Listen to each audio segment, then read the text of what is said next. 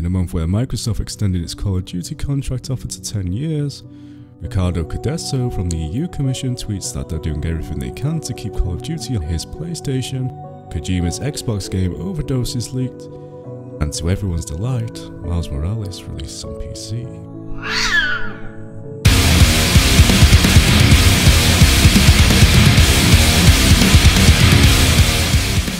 The big news of the month, though, was the price reveal of PSVR 2.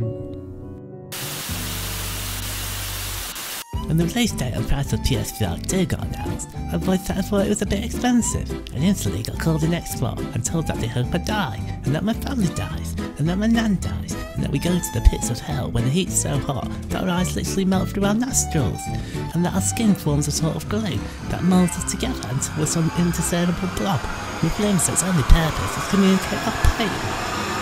Luckily, a week earlier, Elon Musk told his comedy was legal, so I knew they'd be only joking. I'm still crying.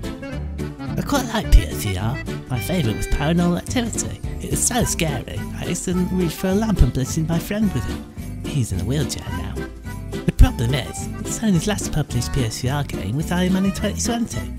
Then they pretty much left the device to die, a device that was released in 2016 and probably had a handful of decent games for it. Of course, the promise of drifting being a thing of the past, and if they can fix the issue where the lenses steam up as soon as it hits my cherub-like face, then maybe it could have some longer legs.